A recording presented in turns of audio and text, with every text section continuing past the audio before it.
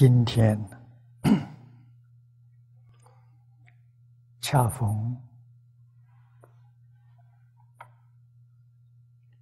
中国的庚辛啊，是庚寅啊，虎年啊，庚寅年的元旦。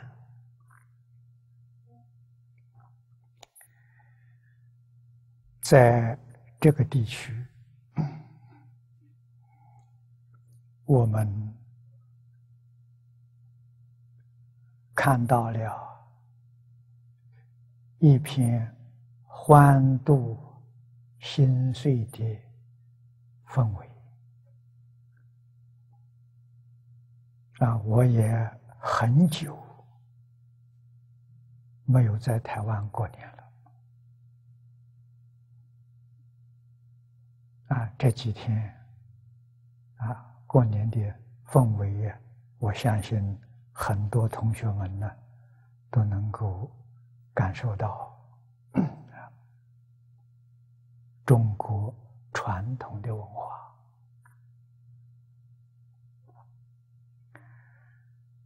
最重要的。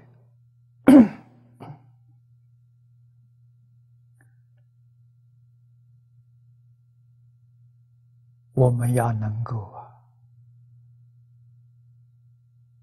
谨记住孝亲、尊师啊，这是传统文化里面的精髓啊。人如果不孝父母，不敬尊长，那么伦理、道德，乃至于因果，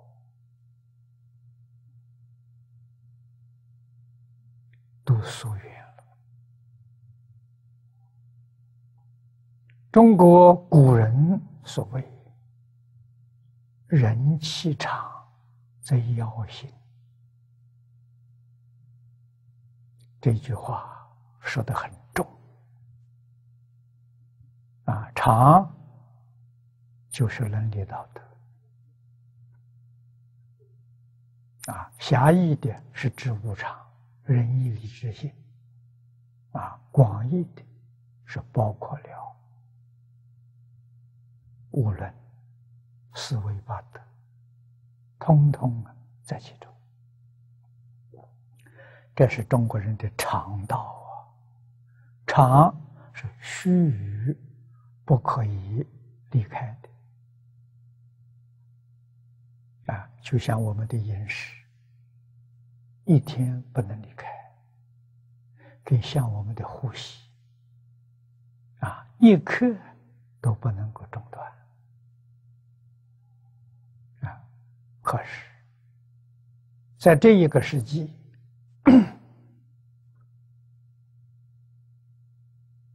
或者我们说，在这一个价值啊，最近的六十年，确实是疏忽了，疏忽的太过分了啊！我们不但不孝父母，不敬师长，连老祖宗啊，就更疏远。在这个年节的大日子里，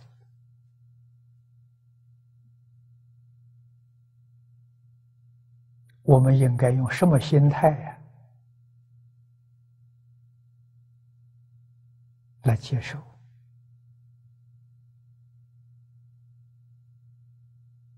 啊，尤其在先前这个社会，啊，使我们想到。祖宗的教诲，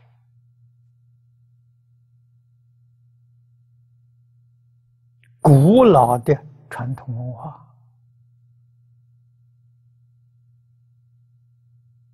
它的纲领非常简单。每一个人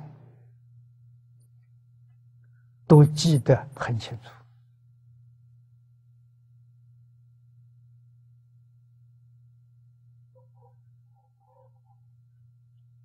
如果用一个字来说，就是孝。啊，中国传统文化是孝文化，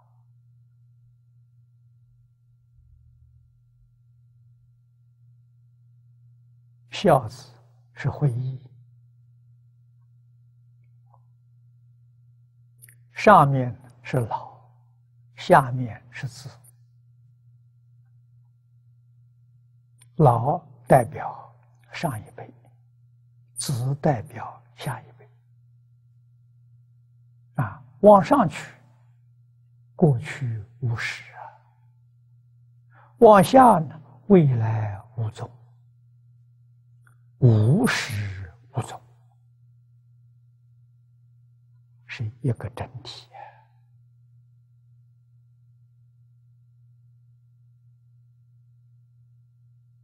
啊，文化的精神世世代代绵延下去，这是真理，这是永恒不变的。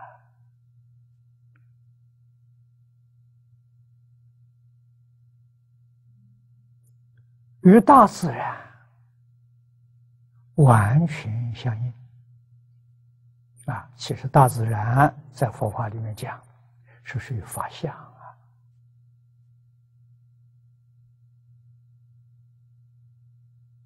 啊，法相的背后是法性。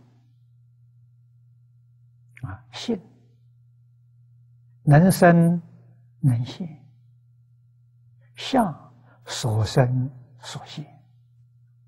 啊，相一定随顺发现。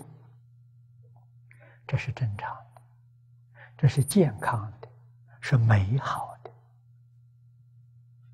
啊，是没有欠、没有缺陷的。